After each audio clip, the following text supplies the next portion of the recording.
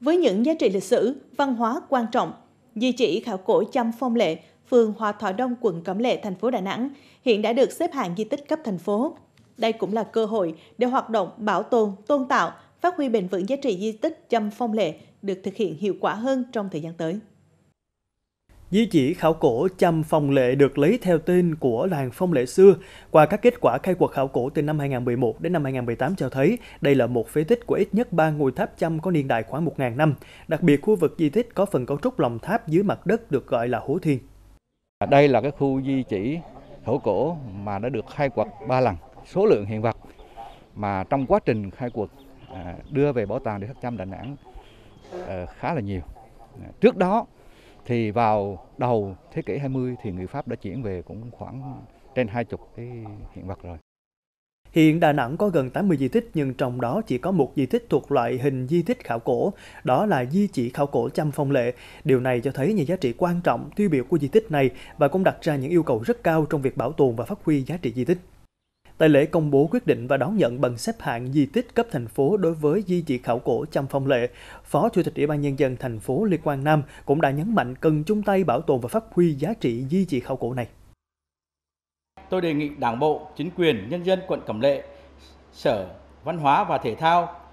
cùng với các ngành có liên quan phối hợp có kế hoạch cụ thể trong việc bảo tồn, phát huy giá trị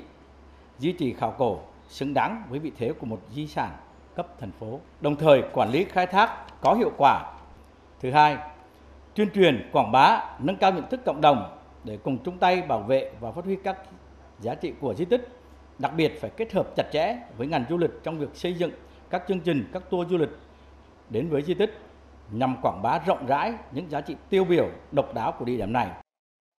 Để bảo tồn và phát huy giá trị di tích này, Đà Nẵng đã phê duyệt đề án khảo cổ và phát huy giá trị khu di tích Chăm Phong Lệ. Cuối năm 2020, dự án Bảo tàng Điêu khắc Chăm cơ sở 2 tại di tích này được bổ sung vào danh mục các dự án công trình trọng điểm mang tính động lực trên địa bàn thành phố. Hiện ban quản lý di tích cũng nhanh chóng được thành lập. Theo Ủy ban Nhân dân quận Cẩm Lệ, cùng với di tích Nghĩa Trũng Hòa Vang, khu di tích Chăm Phong Lệ trong tương lai sẽ là một phần trong cụm các di tích lịch sử, văn hóa được liên kết để phát triển du lịch, tạo động lực để phát triển kinh tế xã hội của quận Cẩm Lệ.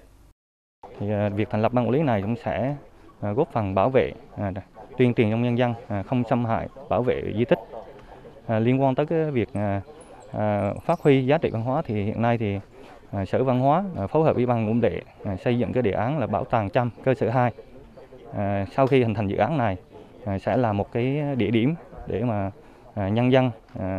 cũng như là khách tham quan tới tham quan để mà góp phần phát triển du lịch, tạo động lực để mà phát triển kinh tế xã hội cho thành phố nói chung và quận Cẩm Lệ nói riêng. Trải qua những thăng trầm của lịch sử và sự tàn phá của chiến tranh, di chỉ khảo cổ Trăm Phong Lệ vẫn trường tồn với thời gian và mang trong mình những thông điệp về đời sống văn hóa tinh thần của quá khứ. Với những giá trị lịch sử đặc biệt cả ngàn năm tuổi cùng công tác bảo tồn, phát huy giá trị di tích đang được đẩy mạnh. Di chỉ khảo cổ Trăm Phong Lệ được kỳ vọng không chỉ trở thành địa chỉ đỏ về văn hóa lịch sử, phục vụ giảng dạy, nghiên cứu mà còn là địa điểm kết nối phát triển du lịch của Đà Nẵng.